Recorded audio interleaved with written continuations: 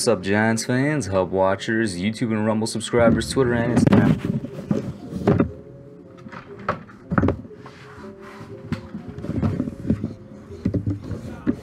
My mic just fell. Twitter and Instagram followers. It's Kush back at again with another New York Giants video. Well, in this case, a Dallas Cowboys Tampa Bay Buccaneers video. Well, it's a recap of uh, my uh, thoughts on the NFL opener, which, by the way, was a fantastic kickoff game. Amazing to finally have football back, and, and how lucky we were to have that game as the opener. It was a lot better than I expected it to be. A lot uh, of different things happened that I did not expect at all. And I guess as a Giants fan, I'm gonna give my thoughts on what happened, and especially my thoughts on the Cowboys, because a lot of fans, uh, right after the game and even the morning after, are kind of high on the Cowboys, and I don't necessarily blame them, but I guess I'm also here to kind of disprove that a little bit. But before we get into it, first things first, new merch is out there. The Killer Bees.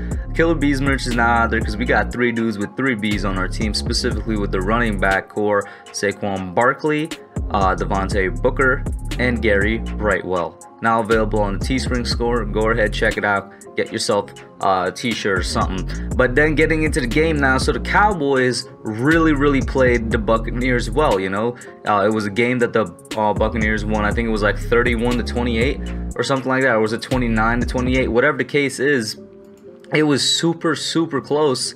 Uh, closer than it probably should have been and the Cowboys really showed up, and I think they did put some of the league on notice. Now, their offense was exactly what we expected it to be. Uh, let's not pretend as if we didn't know the Cowboys' offense was going to be one of the best in the league. They were supposed to be one of the best in the league last year, but Dak went down, and well, kind of their offense went down. That's just how it was. They also had injuries on the offensive line. They had a couple of those guys back for this game. They still have one more lineman that was injured that's coming back in week two, I believe. But the Cowboys offense was how it was supposed to be. They uh at some points during the game looked like it couldn't be stopped. At some points during the game, Tampa Bay really got the better of them. Um, I I was genuinely surprised at how well the receivers did against the Bucks pass defense. Oh, excuse me, against the Bucks pass defense. But then I heard one of the commentators say that the Bucks have a couple injuries in their secondary as well. Uh, their offensive line held up well, which is to be expected. This is, of course, still one of those Hall of Fame offensive lines that the Cowboys have built over the past decade. Um, there was a couple of times where Vita Vea, for example, was getting through, or on a blitz, uh, Lavonte David or, or Devin White would get through. Maybe once JPP got through. But we're talking about one of the best defenses in the NFL here in the Bucks and one of the best pass rushes, and versus one of the best offensive lines in the NFL. So it was a great matchup to see. Both sides got their wins and whatnot. Regardless, the point is the Cowboys offense was what we expected. Dak came back. He showed that he still got it. He passed for like around 50 times. Absolutely incredible, but also worrying if you're a Cowboys fan because Zeke, I think, only finished the game with like 22 yards or something like that. They didn't really use Zeke that much. In fact, they didn't really use the run game that much.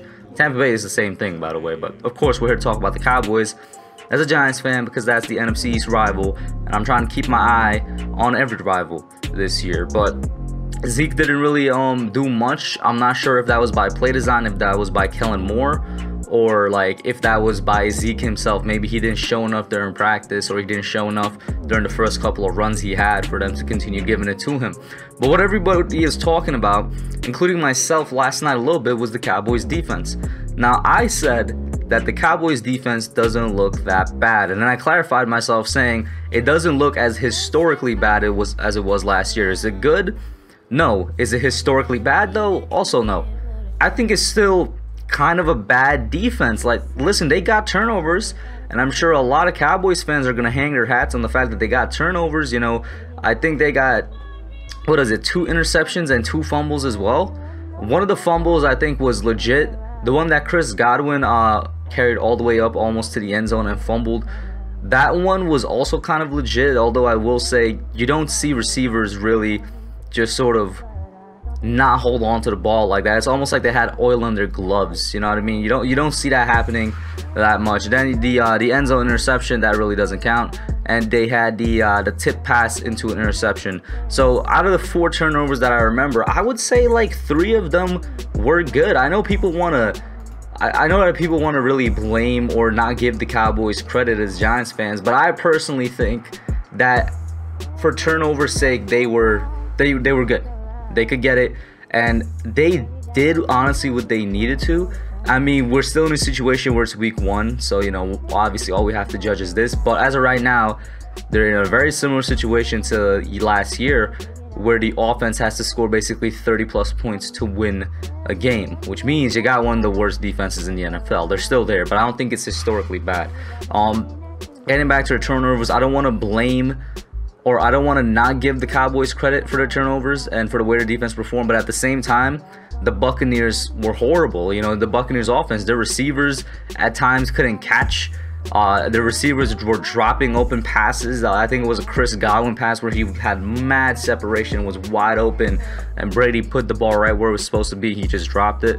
Uh, at points, it just looked like the Buccaneers' offense were just not trying or they were like selling the game, man. It looks like they were just completely unprepared.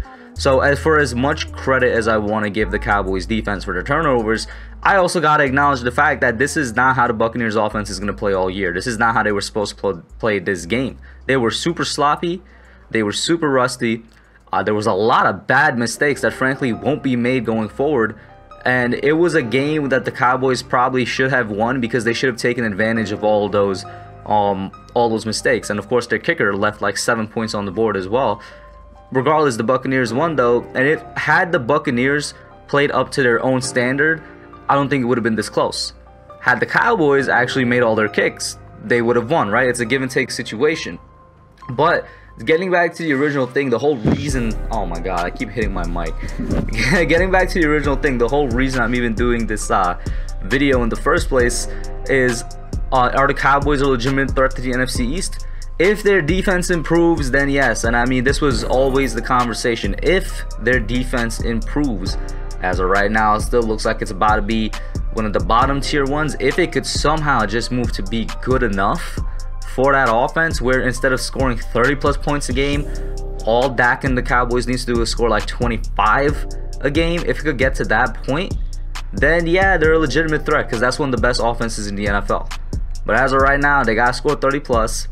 Um, I will say one part of their defense I was kind of legitimately impressed by, I guess, would be their line. They were getting pressure at, you know, at some times. You know, Demarcus Lawrence was getting a little bit of pressure, but their corners to me still look suspect. I mean, Brady was targeting their second and third corners like every single throw. Mike Evans didn't have that much because he didn't need to have that much in terms of receptions and targets. Uh, their linebackers uh, for the Cowboys, Keanu Neal, I saw him out there. Micah Parsons, of course, Micah Parsons, I'm not about to rag on the dude because this is something we knew before he was drafted. And, and, for Giants fans out there that want him for the Giants, this is why I didn't want him for the Giants because we needed a coverage linebacker. Parsons is a line of scrimmage monster. He's somebody that blitzes, he's somebody that stuffs the run. He has like no skill in pass coverage. You know what I'm saying? So I'm gonna put that out there. Can he improve and gain it throughout his career? Yes, but immediately he does not have it.